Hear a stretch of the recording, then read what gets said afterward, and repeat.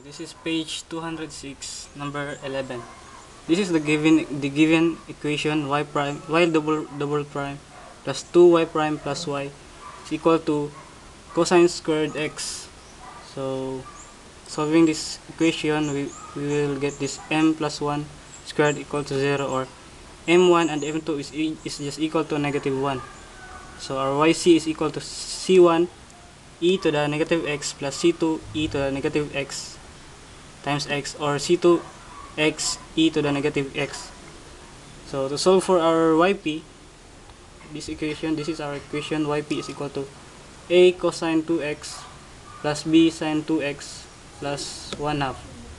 So our y prime, our yp prime is equal equal to negative 2a sine 2x plus 2b cosine 2x.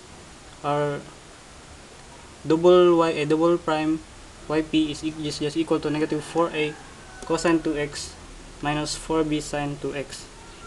So this is the equation we can get from this if we if we substitute it to this the to the given equation so the, we have we will have we have these three equations so adding them up we, we will get this 3 negative 3a plus 4b cosine 2x plus negative 3b minus 4a sine 2x equals to our cosine 2x over 2 plus 1 half.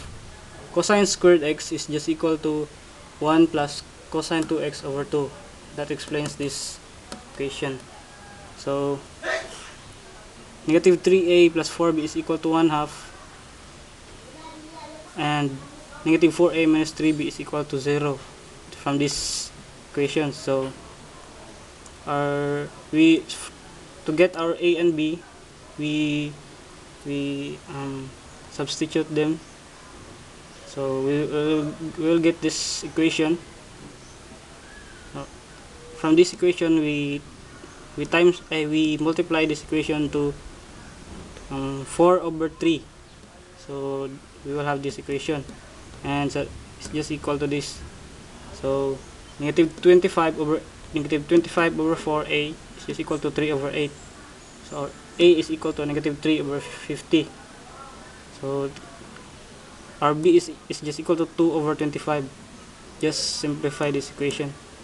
So our yp is equal to ra negative 3 over 50 cosine 2x plus rb 2, and 2 over 25 sine 2x plus 1 half.